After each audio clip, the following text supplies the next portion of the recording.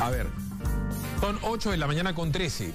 Todos los sucesos que hemos estado viviendo de esta cuestión de los cuellos blancos del Callao y de los intocables de eh, la Victoria y especialmente de la Bajato y el tema de Toledo y el tema de PPK y el tema de Ollanta y el tema de Nadín y el tema de tu presidente favorito y de la Villarán y de Castañeda han hecho que suceda un fenómeno, creo yo, inusual hasta donde lo sé eh, eh, entender o, mi memoria me acompaña. si mañana fueran las elecciones municipales ganaría el señor indeciso pero ganaría el señor indeciso no solamente en Lima, sino en gran parte del Perú. Yo no sé la verdad si es que esto se ha dado antes. Eh, y se lo vamos a preguntar a boca de jarro a Lucho Benavente, que tiene, no sé, 25 años de experiencia haciendo encuestas. Lucho, ¿qué tal? ¿Cómo estás? El año 2001 hubo una situación también muy excepcional, muy especial, donde además eh, Jaime Bailey había intervenido haciendo campaña por el voto viciado. Con Alvarito Vargas Llosa, ¿no? Exacto, entonces entre primera y segunda vuelta se generó un vacío diferente al de hoy, ¿no? Pero que lleva a un nivel muy alto de indecisos que pasó del 40%. Entonces, las opciones, las dos opciones que había en ese momento, que eran Alan García y eh, Alejandro Toledo, no eran muy de convencer a, los votantes, ¿no? Entonces, en un momento dado subió más de 40, 42, 44%. Ya, pero... Ahora estamos en un nivel más o menos parecido. Pero en esa época, bueno, Jaime Bailey por su picardía y por el descrédito, como que empujó con eso, pero siempre se tomó como una broma, como una iniciativa aislada. Eh, Jaime no es, nunca ha sido una persona especialmente popular, digo, en la base del, del, del Populorum. Su programa era de noche, llegaba mucho a la B. Y claro, sonaba como un humor, la gente dice, sí, sí, sí, pero esta cosa cambia. O sea, la calle está muy molesta con los políticos de todo el Perú. Vos Populi dice eso, hace poquito mm. otra encuesta que se llama GFK, no dijo, no dijo cuarenta y tantos como tú, sino dijo treinta y veintidós, es decir, los que no quieren a ninguno y los que este, no saben y no opinan, eran cincuenta. O sea que la verdad, los matices son matices, pero el fondo del asunto es el mismo. Claro, puede ser que, no sabe, que no opina, que va a votar en blanco, que no va a ir a votar, que va a votar viciado. Puede ser cualquier manera de no tener un voto efectivo por un candidato, ¿no? Eso hoy en día en todo el Perú está entre 40 y 55%. Claro, en Lima estamos a veces muy de espaldas a lo que pasa en el país, ¿no? Pero hay distritos, provincias, regiones donde los indecisos están en ese nivel de 45 a 55%. Y digo eso porque así como el común de las encuestas van por ahí, entre el 40 y el 50, cuando sumas, digo, el no me gusta ninguno y estoy pensando, cambiaré mi voto. También las encuestas te dicen pues que el que puntea, que es más o menos Renzo, que va entre 12 y 15. El segundo, que puede ser, no sé, Belmont, que puede ir entre 10 y 11, 9. Urresti, que puede ir entre 7 y pico. Pero todos los demás, o sea, del cuarto para abajo, son casi errores estadísticos cosa que asumo los debe frustrar, porque todos están haciendo su campaña en la medida de sus posibilidades. La verdad es que no hay ningún plan que destaque sobre el otro, ninguna idea especialmente llamativa. Este, todos más o menos ofrecen lo mismo, ¿no? Pero, ¿cómo se pueden sentir su jefe de campaña ahorita si no tienen una encuesta, algo que les diga para dónde van, para dónde tendrían que ir, si a la gente no le importa el tema municipal? Claro, el, fenómeno que está ocurriendo es el siguiente. En ese momento el nivel de indecisos es muy alto, entonces el voto efectivo está entre el 45 y 55%. Y ese voto se lo tienen que repartir, esta vez más candidatos. En Lima hay 20, 21, ya perdí la cuenta. En Guaral, que es una provincia de 140 mil votantes, hay 19 candidatos. Hay un candidato por cada 7 mil, 8 mil ciudadanos ahí. Entonces, eh, es un porcentaje muy, voto, muy, muy bajo de voto efectivo y una cantidad muy grande de candidatos. Entonces lo que se tiene que repartir es muy poco para muchos candidatos. Lo que le toca a cada uno Correcto. Entonces, en todo el Perú, quienes lideran las encuestas hoy están entre 12 y 15% en este momento. El caso, el caso de Renzo Rayardo, que es alrededor de 18 o 20 puntos según distintas encuestas, es un caso más bien un poquito excepcional en comparación con... O sea, que quiere decir que está mejor que los demás. Ahora... Otra de las cosas que ha sido este, eh, parte de la historia última es que han ganado las contracampañas. ¿A qué me refiero? A los que estaban arriba los tumbaban con audio, con video, con... salvo Castañeda, que ha sido un tema a estudiar y que nunca nadie me lo ha explicado, porque Castañeda no es un tipo que le importe mucho ser simpático ni es locuaz. O sea, en el, en el trato personal, Castañeda es amable. Te sonríe, te hace alguna broma, es un tipo llevadero. Pero no es que él se muere de ganas de ser simpático. Él no es Belmont, no es Alan García, eh, él no, no, no es Keiko que siempre te sonríe. Él es como es. Habla poco y ganó, pero por goleada, pese a unos ataques mediáticos increíbles que hasta el día de hoy persisten. Pero normalmente los que han estado arriba les han metido un fusilazo. La contracampaña. Pero ahora hay una contracampaña contra todos. Mm, pues si la cosa sigue así por inercia, ¿irá a ganar Renzo Reyardo? Salvo que le saquen pues un audio o una cosa de esas que hay ahora una campaña muy fuerte contra Reyardo, pero mucho más fuerte eh, son otros temas que están haciendo pasar la elección municipal a un segundo plano de opinión pública. ¿no? Por ejemplo, hoy, eh, en la última semana, el tema del enfrentamiento ejecutivo-legislativo es fuertísimo fuertísimo. Entonces, si pasó algo con un candidato, pasa a un segundo o tercer plano. El tema de los audios es fuertísimo. El señor Inostroza está trabajando para los candidatos que van adelante, porque está evitando que eh, las campañas negativas contra ellos tengan un mayor efecto, porque entonces Inostroza... La red la domina Inostroza y los cuello blancos. Exacto. O sea, ni siquiera ha sido defenestrado por los este, intocables de la victoria. Exactamente. ¿no? Ahora, por otro lado, este nivel tan alto de indecisos. En general siempre hay un nivel muy alto de indecisos en el Perú, ¿no? Acá no hay mucha cultura política, mucho interés en la política, entonces pero esa vez está mucho más alto y es por un efecto inmediato de la crisis del Poder Judicial, que no es solo del Poder Judicial, porque involucra a todo el sistema político, ¿no? Entonces, el ciudadano, ¿qué hace? Conecta el tema de la corrupción visible en el Poder Judicial con las autoridades a las que quiere elegir. Y en el caso del Callao eso es muy visible. ¿no? porque entonces el juez Ríos y, otros jueces han estado ahí muy vinculados a autoridades dentro de la región, dentro de los municipios, en fin, entonces eso se, extiende y ese hartazgo, ese malestar lleva a que no haya ningún entusiasmo por elegir un candidato. ahora bien, este, todos están haciendo sus campañas. Ahora con esta cuestión de los financiamientos ilegales de las campañas, no hay ninguna campaña que descolle pues, por una eh, inversión inusual y todos están tratando de hacer el shaking hands, ¿no? De caminar por la calle y dar la mano. A mí eso me parece buenísimo, porque la gente tiene que, caminar la calle y hacerse conocido. Pero ¿cómo hacen los que no los conoce nadie? O sea, por decirte, el pobre el Columbus, Velarde, ahorita me estaban pasando las hojas de vida de todos los señores. Hay pues 21 candidatos. O sea, ¿Qué puedes hacer para hacerte conocido en dos meses? Velarde ha sido, por dar un ejemplo, Velarde ha sido candidato a la alcaldía de San Isidro, ha salido en televisión un montón de veces, pero la gente en los cerros no lo conoce. Al propio Colorado Muñoz, ha sido alcalde de Miraflores, ha salido en televisión un montón de veces, no lo conoce. Pero siguen siendo percibidos como políticos locales, el caso de, Velarde, ¿no? Y además San Isidro es un distrito con solo con menos de 80 mil votantes. Claro. muy, muy pequeño, uno de los más pequeños este, de, la Lima, del casco central de, Lima. El caso de Columbus, a ver, lo conoce el 15% de votantes. 15% es un millón de votantes. ¿Tienes esa data de quién lo conoce? A ver, háblame de, de, arriba para abajo, como tú quieras. Conocimiento del candidato. Para mí es la prueba ácida, ¿no? Los más conocidos son, Urresti está adelante con 85%, ha sido ministro y además es muy mediático y, a los medios les gusta Urresti porque les permite hacer No, da el tipo está loco ya. Es simpático. Cosa, pero se mecha, te mecha, te mecha con él, se mecha con el otro, da rating, ya prende el ventilador y... No, sí, está bien, bacán. Le pone play y es monstruo. Belmont, 76%, que ha sido alcalde, es el hermanón, el promotor de la Teletón, tantos años. Y los padres, abuelos le cuentan a los chicos también, ¿no? Tercero va Reyardo con 75%, básicamente por su programa de televisión, más que por el hecho del, rol de congresista. Bueno, ha sido ocho años congresista y el programa de televisión. Y el, programa de televisión es lo que le ha dado mucho más conexión. pero ojo, que uno de cada cuatro limeños no te conozca puede pasar factura al final. Sigamos. Claro, claro, porque al final la, pelea puede ser por, muy poquito. Por décimas en algunos casos, ¿no? Sigue Lai con 74%, pisando de los talones a Rayardo. Luego Castañeda Pardo con 70%, pero más que nada es por el padre. Que, claro, yo no creo que lo conozcan a él. Sí. Saben que es el hijo de Castañeda. Ah, Castañeda el hijo. Ok. pues está bien, ¿le han endosado el papá? Sí. Ojo, el entonces Castañeda podría terminar siendo una sorpresa en la campaña. Porque Castañeda, en contra de la opinión de muchos detractores, tiene una solidez, cuando menos el 25-30% de los limeños considera que sido un muy buen alcalde.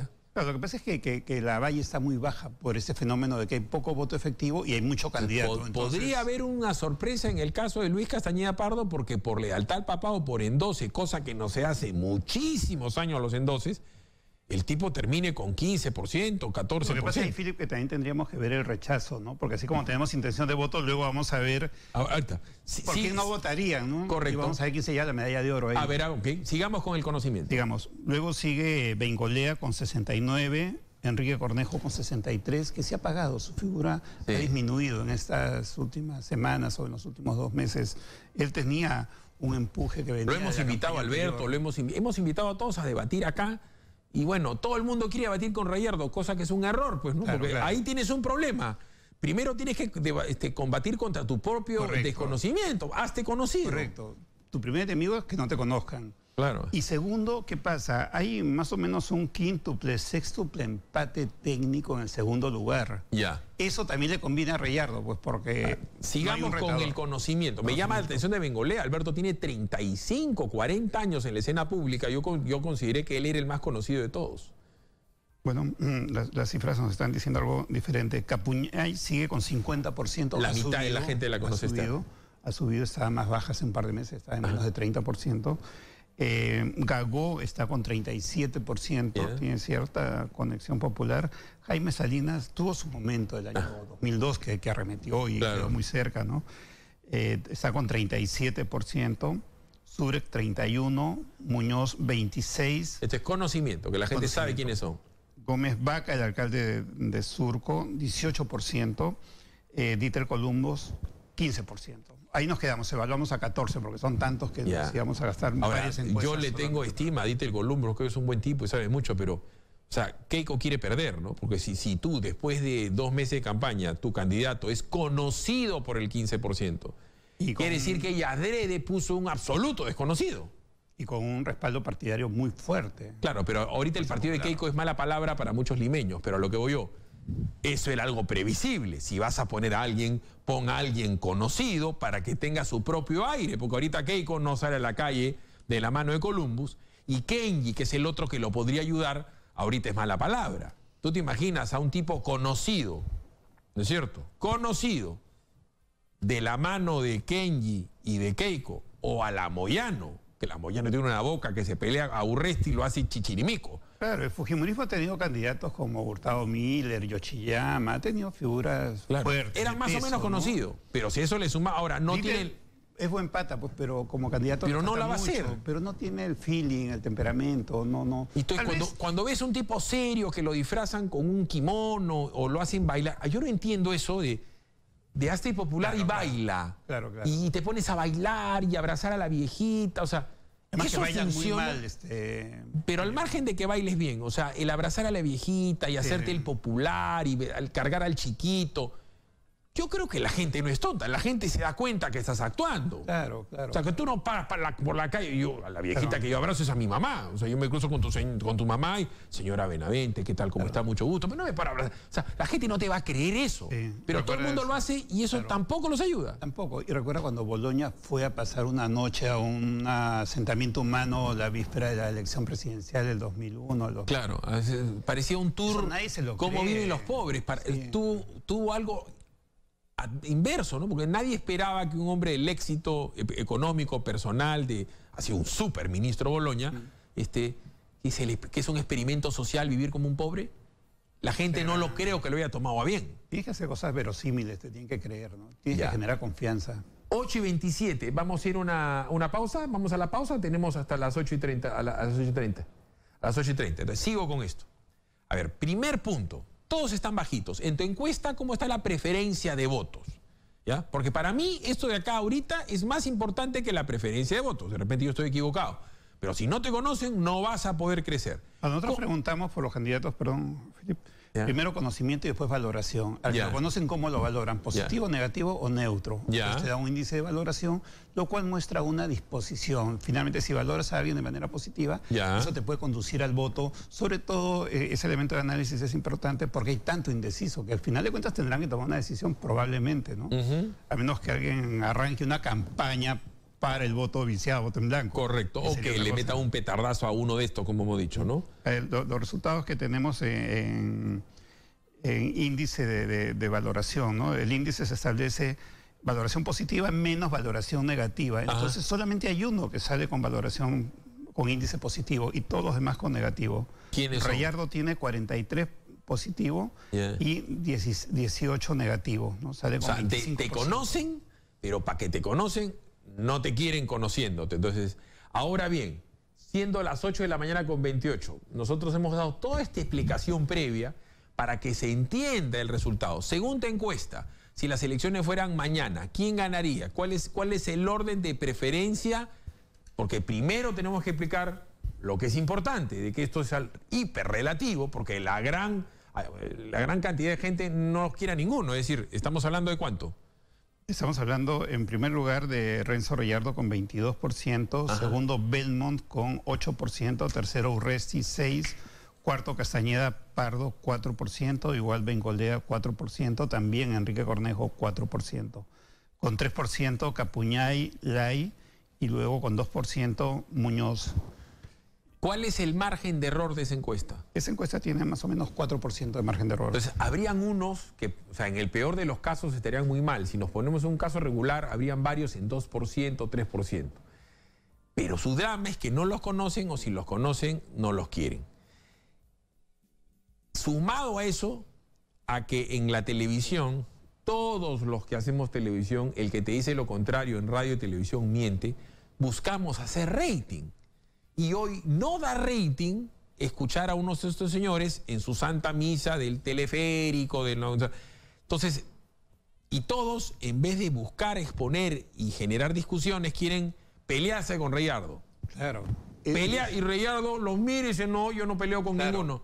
Y Rayardo apuesta a que esta cuestión termine en tres semanas y él ganó por poquito, pero ganó. Pero además acuérdate, eh, eso ya ha ocurrido el 2006 y el 2014, todos se fueron contra Castañeda.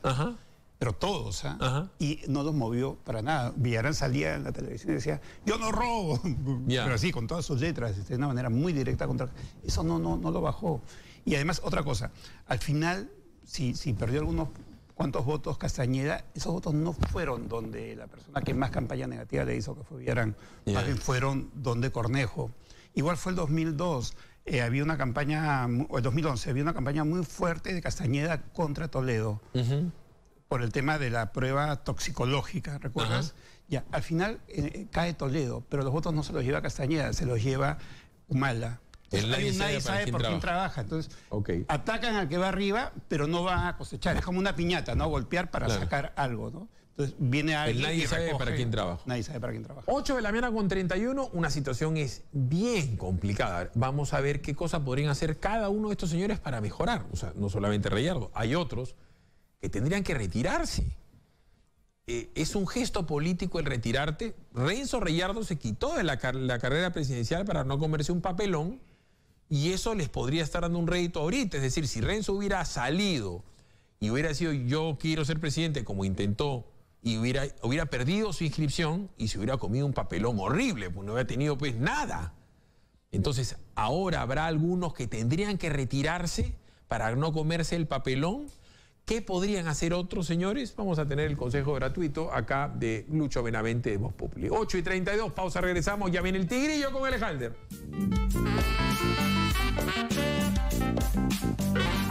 A ver, ¿qué te parece? Para que nadie se moleste, porque no quiero maletear a nadie. Eh, tú tienes ahí la, lista de las preferencias de la gente. ¿Le podés dar consejos a los primeros ocho? Porque yo creo que alguien, ¿quién está en el puesto nueve? Eh, el puesto nueve pues debe estar alguien con 3%, con menos de 2%. O sea, nueve, noveno está Muñoz, Jorge Muñoz con 2.1. Ya, a ver, el flaco, ahí me cae bien Muñoz. Consejos para que mejore Muñoz. O sea, la primera que se me ocurre a todos esos es que hacerte conocido. Pero además de hacerte conocido, ¿qué más? tendría que tener un poco más de contacto popular, que, que, él intenta hacerlo de manera muy esforzada, pero no le da resultados. Hay un problema para él y para todos los candidatos, que hay un espacio publicitario en televisión, en radio masivo que no se está usando. Tal vez ahora hay mucho cuidado por las donaciones de campaña, por los motivos que ya sabemos, y la publicidad en los medios de alto impacto es muy, muy cara, ¿no? Pero yo creo que faltaría publicidad en televisión, para Muñoz y para cualquier otro. Pero ahora hay, límites publicitarios también, no es que puedes eh, meter un montón de publicidad sino más. Entonces, este, eso también es un problema.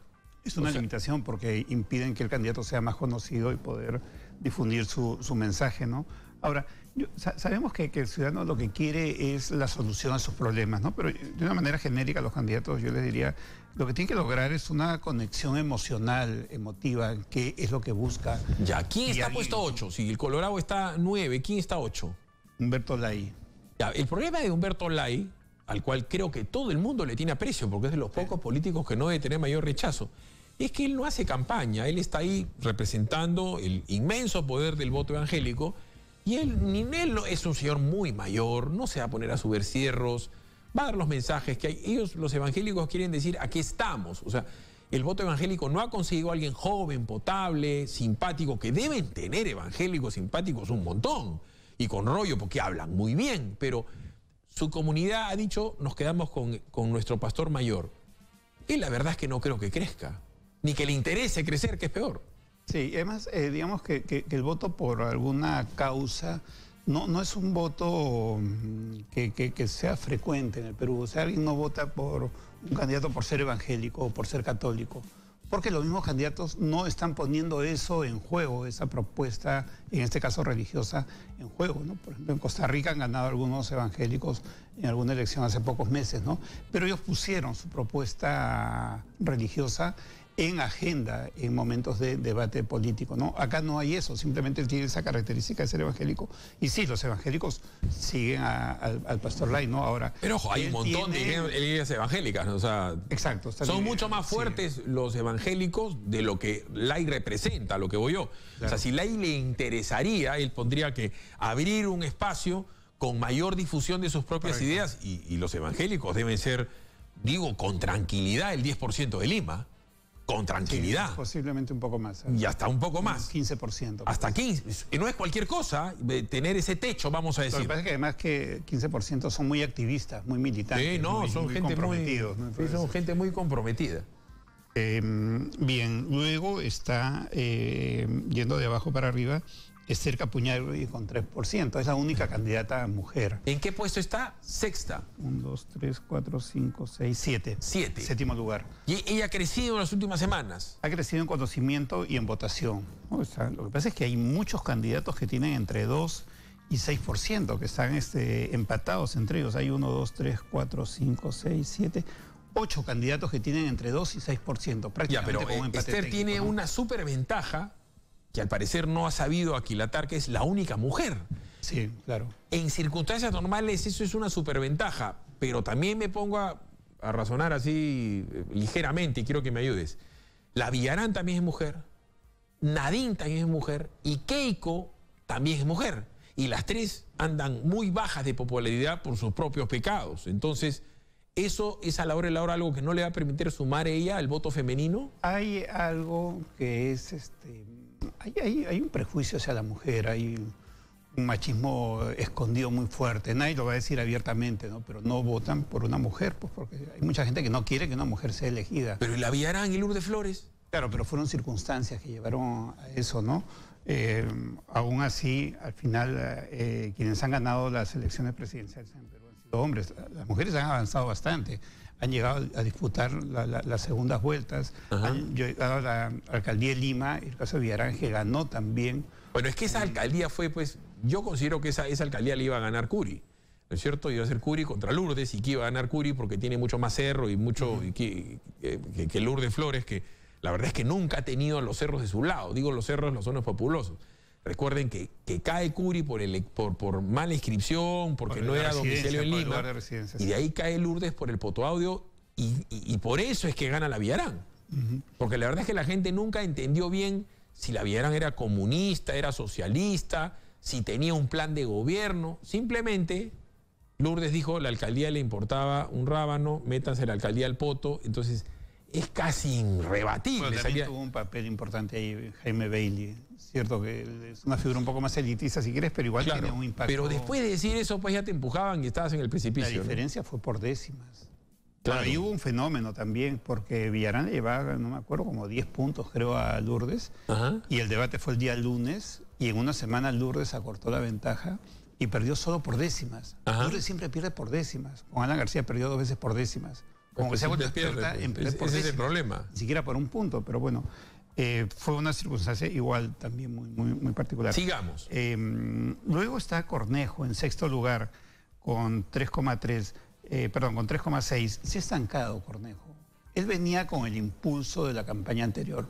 Bueno, con gente más informada se sabía que había armado un equipo de gente muy capaz para armar un plan de gobierno municipal que lo han estado trabajando durante dos años, creo, con gente muy calificada.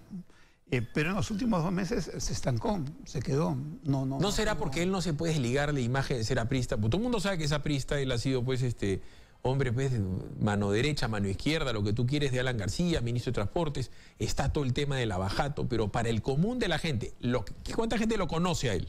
De la gente que lo conoce. Tú me dijiste que, que estaba en el 50, 50, 50 y tanto. Ya, pues el 50 y 60% que lo conoce, lo conoce como aprista y siempre lo ha visto al costado de Alan García. Y el problema es que los, apristas, los apristas no lo quieren mucho, ¿no es cierto? Por, porque irse del APRA y como se fue él, entonces, el tipo eh, ahí tiene, ¿cómo tendría que hacer él para subir? Porque técnico, capaz es y sabe exponer muy bien todo el tema de la infraestructura, es un tipo sólido, profesionalmente, pero como que le, también le falta el enganche emocional con el popular. Eso lo del tío bigote, ya, ya no, se puede cortar el bigote todos los días. No, eso es ya del pasado y ahora hay otra barba más este, moderna que, ¿Ya? la, la, gente joven que conecta, ¿no? Si vamos a un aspecto formal de ese tipo, ¿no? era como Valentín, ¿no? Valentín Paniagua sacó el chaparrón como personaje de conexión popular, pero lo sacó muy tarde, ¿no? Entonces él tenía un feeling muy distante, ¿no? Y eso también está pasando con Enrique Cortenjo, me parece. Ahora, ocurrió una cosa curiosa, el 2014, él tuvo bastante voto juvenil, logró el 18% con una proyección de su vida muy rápida. Como que era la prisa bueno. Claro, y además se había desmarcado de Alan García. Muchos pensábamos, me incluyo, que, esa pelea era más histriónica que, real. Luego supimos que sí, realmente había una distancia muy grande. Pensábamos en ese momento que podía ser una distancia estratégica. Bien, eh, luego está Bengolea. Bengolea va conectado con el deporte, pero eso no lo ha catapultado, no ha tenido, creo yo, una suficiente conexión popular. Creo que ha adquirido un poco la marca política por su actuación en el Congreso, su rol de mm, abogado. No, no, Ahora, pero Alberto es un tipo que tiene 40 años en el ojo público. Alberto debe tener 52, 53 años, sale en televisión desde que tiene 12. Sí. Este, es burbujito. Claro. ¿Cómo no puede tener más votos si él ha sido uno de los congresistas más votados en su momento? ¿Qué te parece si regresamos luego de la pausa para ver qué pueden hacer todos los demás para subir y para darle algo de vida a una campaña que la verdad parece aletargada. 8 y 46, pausa, regresamos. Dicen que hay gente que no irá a votar porque es fin de semana largo. También me preguntan por el voto cruzado. vamos a llegar al final del día para ver cómo hacemos, al final de la entrevista para ver cómo hacemos. Pero a ver, los otros, ¿qué pueden hacer para subir? En cuarto lugar está Castañeda Pardo, ahí está lo que decías al inicio, con 4%. Cuatro lugares solamente tiene cuatro puntos de, voto. A ver, el tema con él es que, claro, el papá ha tenido un, ha sido un fenómeno de la política peruana, ha, gobernado el municipio de Lima eh, durante muchos años con 70 o más por ciento de, de aprobación. Ahora llega solo a 25 por ciento, no está en su mejor momento tiene algo de cuestionamiento y eso se le ha transferido al hijo. Lo mismo pasaba con Alberto Fujimori y Keiko, ¿no? Entonces, los hijos reciben eh, herencias políticas de, los papás.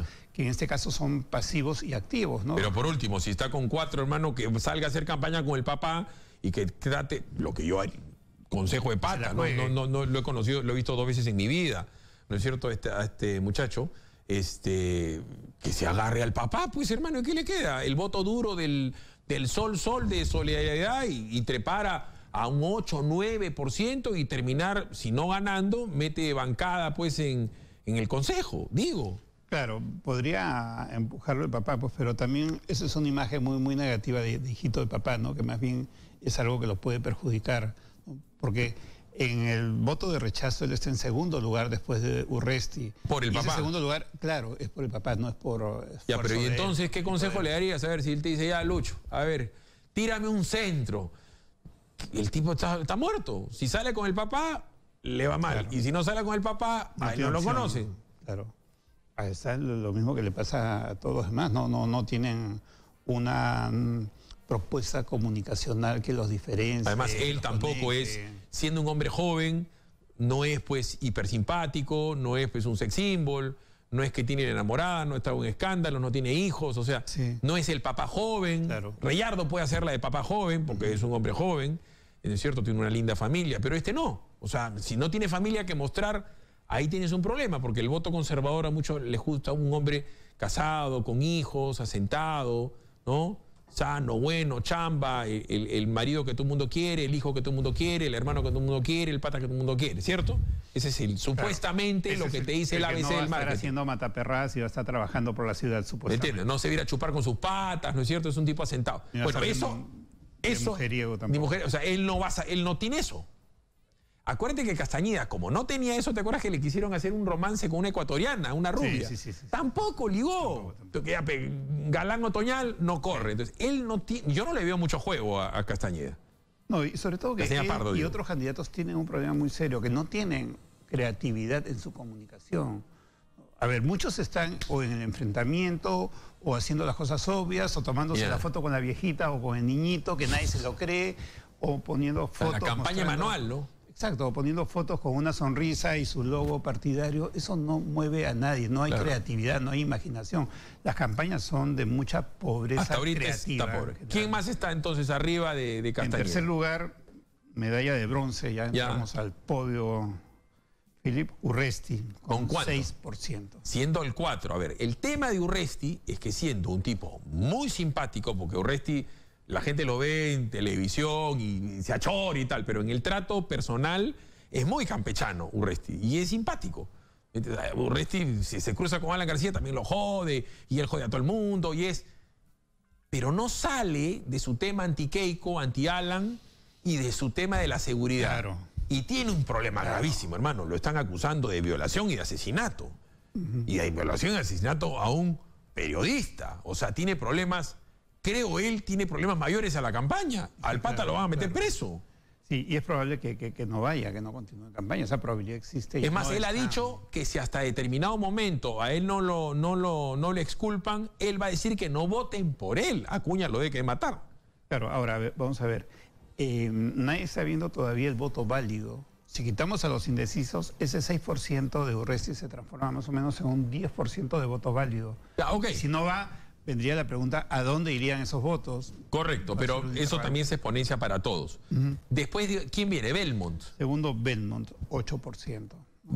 Eh, esto nos dice que el tema antivenezolano, antivenezolanos en Perú no le ha dado resultados porque esa encuesta es posterior a ese mensaje. Lo que pasa es que Belmont, a ver, Belmont ha tenido la imagen de ser un buen hombre toda su vida, o parte de su vida, porque hacía obra de bien para los niños, porque era un hombre de familia, porque él teniendo un, chico con problemas se solidarizaba con los chicos con problemas, y él era el positivo, él era hermanón.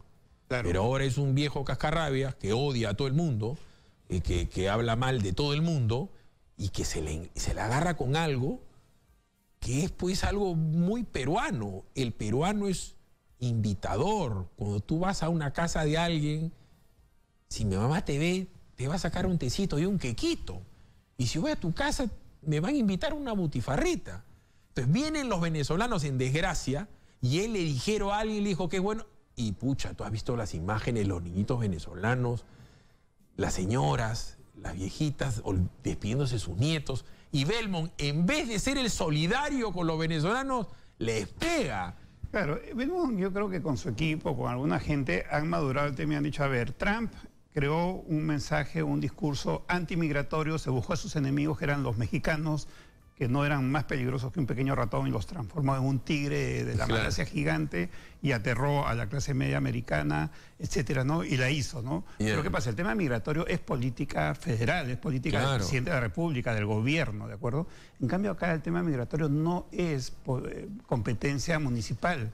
Por lo tanto, Belmont está totalmente fuera. Y además, los migrantes que van a Estados Unidos, todas nuestras familias de migrantes, Perú tiene muchísimo, van en busca de una mejor vida. no van porque se están muriendo de hambre. O sea, ya todo el mundo en el Perú entiende que lo de Venezuela es una cosa horrible, que no tienen que comer, que no tienen agua, que no tienen desagüe, que no tienen luz, que no tienen seguridad. Pues están escapando. Se les ve como víctimas, mientras que en Estados Unidos a los latinos que van allá los ven como que vivo, se está agarrando mi sistema, se está agarrando mi colegio, este, está en la cola del social, de, cómo se llama, de la ayuda social. Entonces, este es un vivo que se quiere agarrar la plata de mis eh, impuestos, eh, en donde todo el mundo tributa también. El mensaje de Benmont no era creíble, porque claro, dijo, a ver, vamos a buscar un enemigo que son los venezolanos, ¿no? Hay gente sí que está preocupada en el Perú y hay un sentimiento antivenezolano a nivel popular en el país, yo lo he podido constatar en distintos lugares del Perú, ¿ya? Eh, vamos a, generar, a mover ese sentimiento y de esa manera vamos a ganar adhesión. Ese ha sido el, razonamiento, un poco a lo, Trump, ¿no? Pero no, no le ha resultado, no, no es creíble, más por otra razón si analizas bien el mensaje de Belmont, dice sí, porque entonces estos venezolanos son un millón y que se han puesto en alianza con los apristas y se van a juntar los dos para tener un millón de votos el APRA se lo va a creer? Para comenzar tiene que estar en el padrón electoral. Y además... Y más, perdóname, juntas a un supuesto enemigo que son los venezolanos con otros enemigos que son los apristas, que también tiene, es un partido que tiene rechazo. No, y además dijo que los venezolanos era, era culpa de los apristas, cosas claro, que... Claro, claro. Y además, está bien que le tenga bronca a Alan García y a Lápara, está bien, pero no es creíble que el, el, aprismo está coordinando para que se vengan acá y, una historia tiene que ser verosímil. Lo que tendría que haber hecho él, acuérdate que él cuando es alcalde de Lima venía a ser activo, venía a hacer sus programas de radio, sus programas de televisión, sus teletones, y él se mostraba haciendo deporte, era simpático, era proactivo y activo. Joven, pintón, musculoso, o sea, el tipo era un tipo que hacía. Pero Belmont, desde que ha dejado de ser alcalde, no trabaja. O sea, es un señor mayor, cascarrabias, pero ¿en qué trabaja? Es un cactus, vive el aire. ¿No es cierto? Para la gente no trabaja. Entonces, eso a él, yo creo que es un fabuloso candidato, que si él hubiera dado una imagen positiva de lo que ha hecho con su vida, ¿no es cierto? Hubiera sido bueno, pero si sale a hablar mal del hijo, un papá que habla mal de su hijo. Y le puso un signo muy negativo a su campaña, incluido este caso, ¿no? Ahora, el que se haya colocado en segundo lugar, de alguna manera era interesante, porque eso lo podía convertir en un retador si él sabía manejar una campaña. Ahora, podría hacerlo todavía, si él varía y se pone en tono positivo y en tono simpático, ¿no es cierto? ¿Podría mejorar? Digamos que, que vuelve a ser el hermanón un poquito más grande, ¿no? El... tío, pues, el tío Belmont. Tampoco, por decirte, antes era el hermanón, ahora es el tío Ricardo. Mi tío Ricardo. Mi, o sea, Pero un tío bacán, pues. Un tío, la tía bacán, pues. Oye, la, la Villaranga no siendo la tía bacán. Y tú y yo sabemos a estas alturas que la señora para trabajar es incompetente. En su vida trabajó ni para los públicos ni los privados. Y la verdad es que es una cabal inútil. O sea, la señora no tiene ahora, ya que todo el mundo la ve, ¿no es cierto? Fríamente, la señora no servía para nada. Esa es la realidad. Estoy siendo un poco cruel de repente con la gente, pero es la realidad. Y para colmo, está con unos problemas de corrupción horribles. Pero la señora no funcionaba, no era buena, pero le hicieron buena porque sonreía, porque era bacán. Era la tía que no te jodía si fumabas güiros, ¿me entiendes? Ganó en el Waikiki, porque la, se llama de la Puente, es bacán, ¿no? Es la rica que se fue con los pobres. Construyeron ella la buena y Lourdes era la que tenía casa con piscina. O sea, la pusieron a Lourdes de Pituca, cuando la Pituca es la otra. ¿Me entiendes? Pero ella iba al Agustino y abrazaba gente. Acuérdate esa foto de Lourdes con Javier Barrón en la piscina de Corpac de Lourdes, que es una casa de clase media. La pusieron como la San Isidrina Pituca. Y la otra la tía Bacán. La fregaron. 8 y 58. 8. Renzo Reyardo no quiere debatir con nadie, está copiando la estrategia de Castañeda de no hacerle nada a nadie. Él quiere ganar, entiendo, Silbando bajito. El que va adelante no, le conviene el debate porque se expone más, evidentemente. Pero eso es una regla de siempre, ¿no? Ahora en un momento dado de pronto se genera la presión y tendría que haber un debate. Ahora en el Perú los debates no son debates porque entonces anda a escuchar a 20 candidatos. Cada uno tiene tiempo para hacer un comercial de... Sí, son exposiciones de a 6, ¿no? quieren. Tendría que haber una, un segundo debate que sea un... Al final van a haber debates... Ya, pero con esa de repente en el debate, no sé, pues Belmont les pega a todos, o aparece la capuña diciendo yo soy una mujer decente, aquí estoy. municipales es que sí han tenido un impacto grande, no han definido todo, pero a ver, el año 2002, eh, en ese debate sí decidió el debate, porque sube em, Jaime Salinas, de, de, de 3-4% sube a 18%, y al subir le quita votos a Andrade. Y gracias a eso gana Castañeda. Historia del debate. Luego el debate de, Villarán con Lourdes, la diferencia era de 10, 15 puntos. Y después, y Lourdes se aleonó, era otra Lourdes. ¿no? Fue muy agresiva, muy dura destrozó a, Villarán y al final redujo la, distancia a pocas décimas. Pero igual perdió. Punto. Igual perdió, pero digamos hubo un impacto del debate. Ahora, salvo que salga audio, video, o sea, ahorita todos los que chuponean deben estar atrás, este, trolls, a mí yo ya no sé qué hacer con mi, con mi Twitter, me lo han hackeado, se meten a mi fake, me inventan nombres, hay Philip 1, Philip 2, yo no soy en campaña de nada, pero digo, calculo que le van a hacer lo mismo a ellos. Les van a trocar una foto, le van a buscar amante, le van a meter coca en el carro, o sea, algo para tumbarlos. A Reyardo tiene que tener una vida monacal, cuidar lo que habla, cambiar el teléfono, hablar por WhatsApp porque la contracampaña podría tumbar a Riyardo. Podría ser, podría ser, ¿no? Con, ese nivel de indecisos tan alto y con tanta fragmentación del voto, nadie puede decir que, ya la tiene segura. Ahora, Riyardo, si quitas a los indecisos, tiene más o menos 30% de voto válido. Correcto. es una candidatura que ya más o menos tiene cierta firmeza, eh, por un lado. Por otro lado, él tiene un nivel de simpatía, de valoración positiva bastante alto en comparación con otros candidatos, ¿no? Es el único que sale con un índice favorable, positivo en este caso. Y por otro lado, la, agenda es que todos los temas que están saliendo contra él, que son muy fuertes, no lo están afectando, pues por lo que ya hemos conversado, la atención está en Nostrosa. El voto cruzado. Pueden, pueden pasar, por decirte, Somos Perú es un partido que tiene mucha fuerza en, algunos distritos y de repente Suri le va mal, pero a algunos le va bien. Este, Renzo Reyardo tiene candidato fortísimo, mi chochera Quique Dupuy en, en ATE está arrasando. Entonces por ahí es que Renzo se hace fuerte y dice, prefiero ir a hacer campaña a los conos donde estoy fuerte y no matarme en los sets de televisión. Porque si igual la televisión lo que van a hacer es invitarlo a Reyardo para que se cruce en los estudios con Urresti. Es algo muy propio de los canales de televisión, ¿no? Ah, ¿no quieres debatir? Te invito y a la hora que llegas tú, Urresti, Urresti se te ve encima. Ah, no quieres debatir conmigo, aflojas esos van a tratar de hacerlo. Entonces yo calculo que Renzo Gil no es. Claro, no, no le conviene pisar el palito, pues, no le conviene. Eh, a él le interesa estar al margen de cualquier discusión, cualquier debate, porque eso lo, podría hacer vulnerable, ¿no? Em, creo que a, su manera está manejando la campaña, está haciendo, él y otros candidatos están haciendo una campaña BTL, ¿no? una campaña por, debajo de, de, la línea masiva, efusiva, eh, de los medios, ¿no? Con excepción de, algunos candidatos tipo Urresti, que sí busca los medios para ese estilo de provocación que no le está dando. Ahora, el día a día ahora va a ser muy importante lo que se llama en el tracking. Por decirte, el día de hoy, este tema, ok, ya no se escucharon, pero la verdad, no lo tomes a mal, la gente está en este momento esperando a que va a decir el Ejalde y el Tigrillo del partido de hoy. ¿No es cierto? Y todo el mundo en su oficina va a decir este maldito de Benavente, en Voz Populi, no me deja ver el partido Benavente, porque de una y media a tres y media la gente va a querer ver el partido, y cuando llega su jato, lo que va a hacer la gente es al toque ver la repetición del partido. O sea, hoy día es un día muerto para los políticos.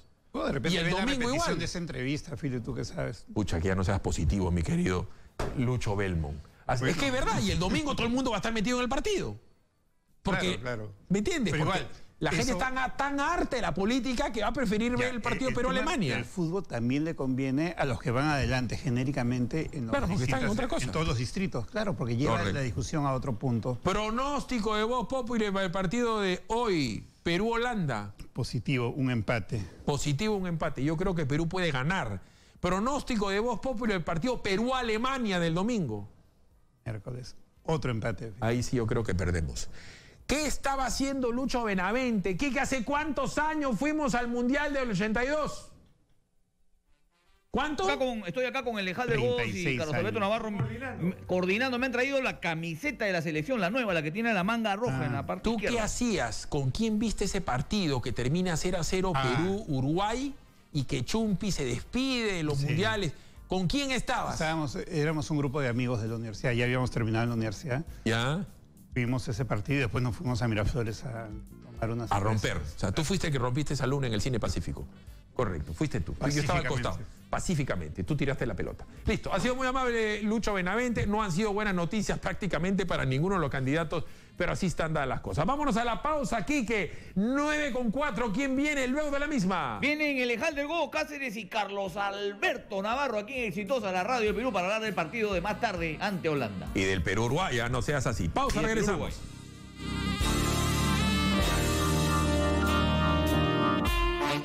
Perú,